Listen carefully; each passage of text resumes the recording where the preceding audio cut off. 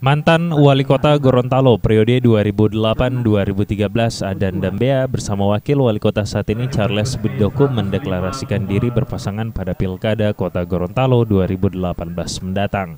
Hal ini seperti yang terungkap pada penyampaian Ketua DPD 1 Partai Hanura Provinsi Gorontalo Adan Dambea di hadapan ratusan masyarakat Tulomo Selatan Kota Utara pada Sabtu malam kemarin. Insya Allah saya dan Pak Charles Budoko akan maju pada pemilihan wali kota tahun 2018 yang akan datang. Sementara itu Charles Budidoku usai kegiatan mengatakan dipilihnya Adan Dambea sebagai pendamping pada Pilwako dikarenakan Dambea merupakan sosok berpengalaman dan memiliki jiwa kepemimpinan yang pernah memimpin kota Gorontalo.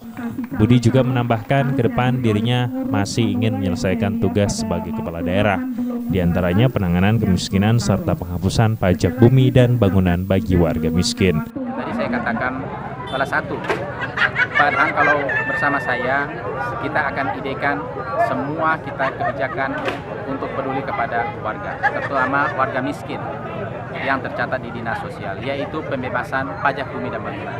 Insya Allah, Alhamdulillah direstui.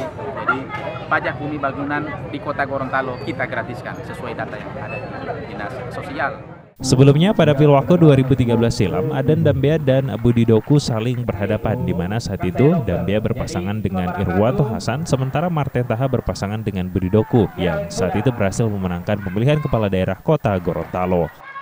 Bapak Camat, Fazril Hasan, Mimosa TV, mewartakan. Bapak, Ibu-ibu tokoh masyarakat, tokoh